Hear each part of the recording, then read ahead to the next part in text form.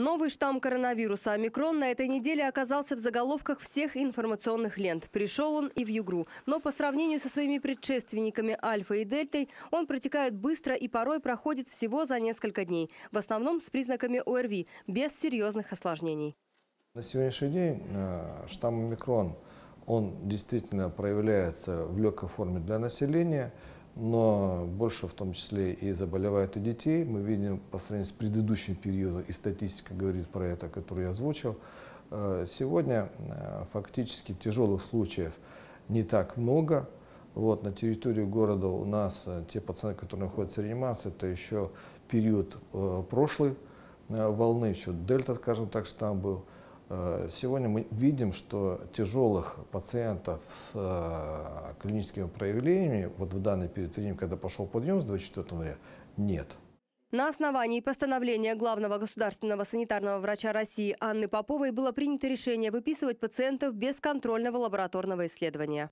Те пациенты, которые э, заболели коронавирусной инфекцией, находятся дома и в дистанционном режиме мы им выдаем листок принятых способностей, контролируем их по определенному чек-листу и выдаем больничный лист на 7 дней.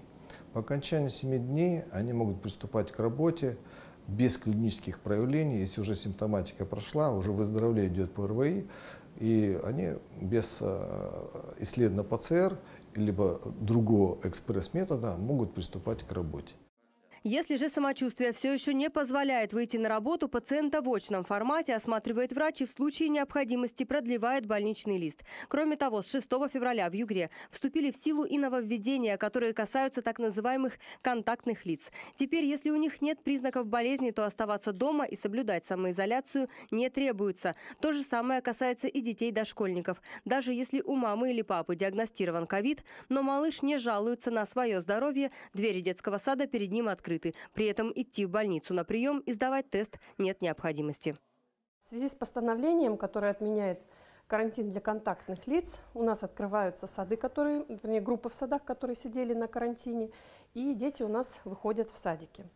А в связи с этим дети, которые были контактные и не заболели, они выходят через медицинского работника в детском саду.